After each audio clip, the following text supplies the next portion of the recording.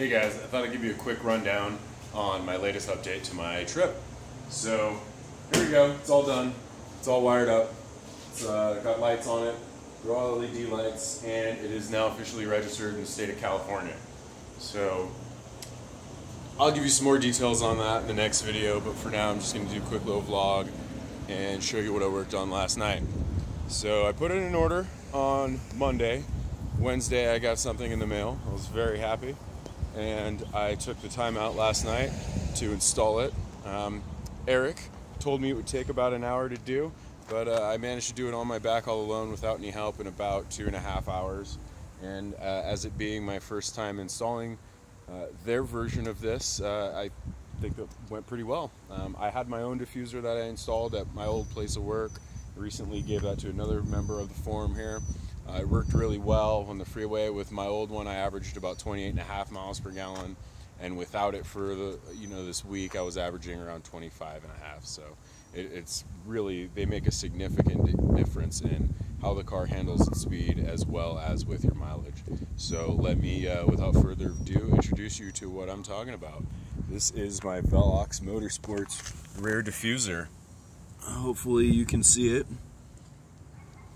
It is right there, integrated right below my wonderful Slambert trailer hitch. And I have it mounted up as high as I possibly can. I use the small spacers uh, just because I needed a little bit of space towards the front. When I installed this guy, I also got the front under panels. Um, they fit wonderfully well. I unfortunately have a custom built mandrel bent exhaust system which you can check out on my channel as well. Um, and it is really close to the diffuser there. It's basically touching.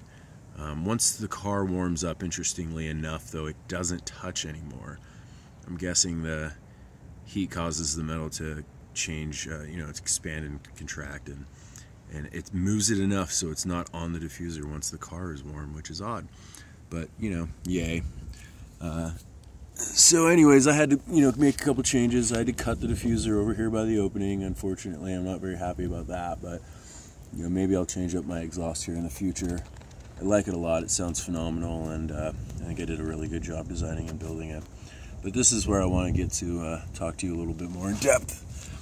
The front under panels fit wonderfully into the JDM under panels. My car is a 2015 Series Blue, so it does have the full JDM underbody panels.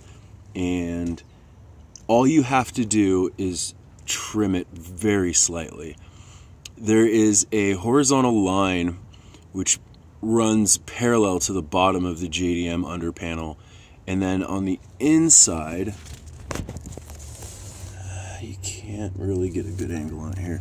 But on the inside, there's another line where the panel comes up.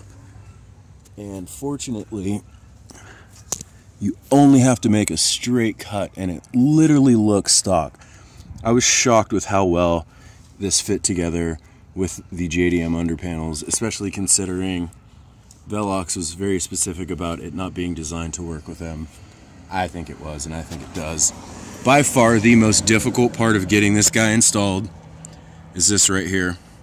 That's your e-brake cable mount. And when you install the front underbody panels, they bolt into the stock e-brake cable mount with a bolt that passes through a large spacer. That took me a long time to get aligned. Uh, it was kind of a bear. Uh, once I figured out how to do it without having a third hand, the other side went in in like five minutes. But this side probably took me half an hour, 30 minutes to do. Anyways, uh, fits wonderfully. Fit and finish is phenomenal. Came shipped extremely well. I know there was talk with the early models having a couple of shipping issues with UPS bending the uh, the strakes, but mine came wonderfully packed, and I think it just looks phenomenal on my car. And I hope that it is going to help me maintain relatively decent and manageable gas mileage on my trip across the country. So here's Series Blue, my BR Azul, if you will, and my roommate's DC2 Integra build. That thing is a GSR on the outside and in the inside, but under the hood and underneath, except for the uh, four bolts PCD on the hubs. This thing's all ITR and it is fully built. It's a monster. The last motor made just just over 200 wheel and this one's probably going to make even more. NA. But uh, here we go. Here's my trailer. Ready to go. Let's get out of here. And I will update you guys more a little later this week. Thank you. Have a great day.